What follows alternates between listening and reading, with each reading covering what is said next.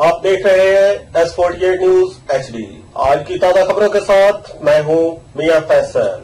नज़र डालते हैं आज की अहम खबरों पर। खबर शामिल करते शेखपुरा से बरचे मोहम्मद इशफाक भट्टी की रिपोर्ट के मुताबिक, तहरीक मिनाजुल कुरान चौक सरवर शहीद के वफद ने समाजी शख्सियत व सीनियर सहाफ़ी हाजी तारक महमूद आजज की क्यादत में इलाके की नामवार मजहबी रूहानी शख्सियत हज़रत मौलाना पीर सैयद अहमद हुसैन शाह, आल मारूफ मदनी शाह साहब की तीमारदारी की और खैरियत दरियाफ्त की और शेखुल इस्लाम डॉक्टर मोहम्मद तहरुल्कादरी की तरफ़ से नेक ख्वाहिशात का पैगाम पहुँचाया। मदनी शाह ने दिन इस्लाम के लिए डॉक्टर ताहिरुल्कादरी की खिदमत को सराहते हुए तहरीक मिनहाजुल कुरान के लिए हर किस्म के जानी और माली, तावन की यकीन दहानी करवाई। मुलाकात करने वाले वफद में मोहम्मद अवैध सईद कादरी फरक शहजाद, आतफ शहजाद ने खसूसी शिरकत की और मदनी शाह की सेहत और सलामती और दराजी उम्र के लिए नए ख्वाहिशात का इजहार किया। Mohammad Ishfaq Bhatti bureau chief S forty eight news, Sheikhupura.